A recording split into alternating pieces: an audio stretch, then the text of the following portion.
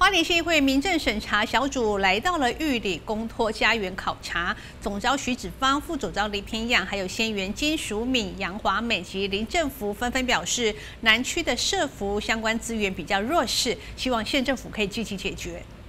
为了了解南区的公托环境，花莲县议会民政审查委员特地来到玉里公托家园考察。总召徐子邦、副总召林品阳以及县议员金淑敏、杨华美、林政府纷纷表示，南区的社福相关资源比较弱势，希望县政府能够积极的来解决。因为呃，似乎在我们这边只有一个公托嘛，那好像名额也很比较少一点。那有看有什么寻求什么？呃，样的方法可以不要解决这样的一个问题。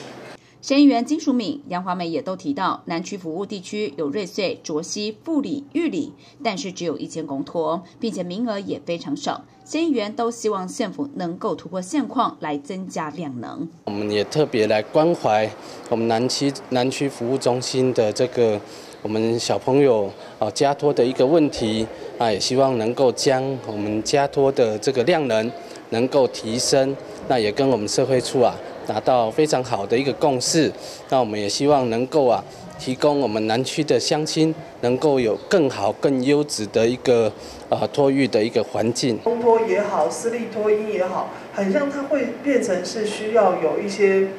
呃鼓励哈，在南区了哈。那有没有可能有一些未来有没有什么一些县府有没有什么一些规划，就是解决南区？这个家长的压力。另外也提及到，县府训练的托育专业人员，并没有实际投入到托育的市场上，变成家长可以选择的很少。所以希望县政府能够突破困境，排除万难，把福利服务输送到位，透过健全当地托育环境，让南区的青年无后顾之忧。